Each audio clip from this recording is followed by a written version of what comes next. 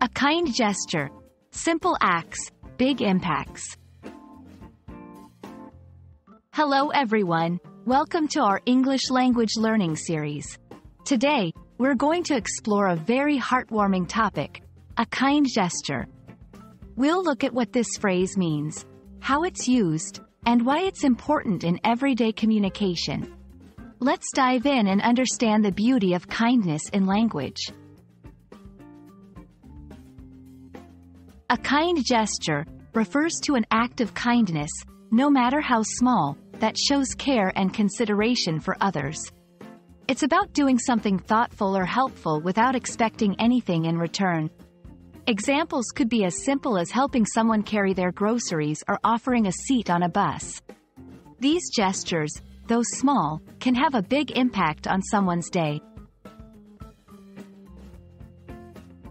Kind gestures are not just actions, they're also a form of nonverbal communication. They convey empathy, compassion, and humanity. In a world where words are often given more importance, a kind gesture can speak volumes about your character and values.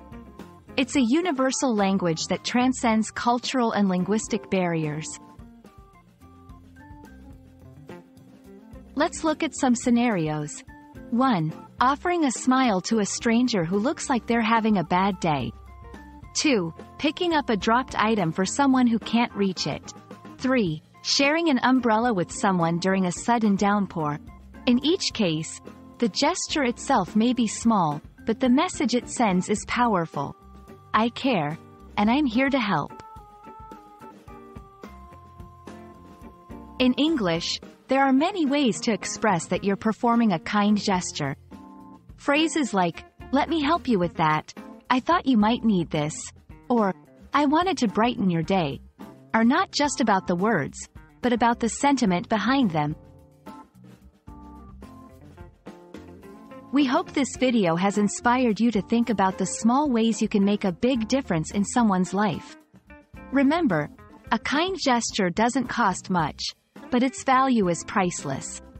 Keep spreading kindness, and see how it positively affects your world. Thanks for watching, and stay tuned for more insightful English language learning videos.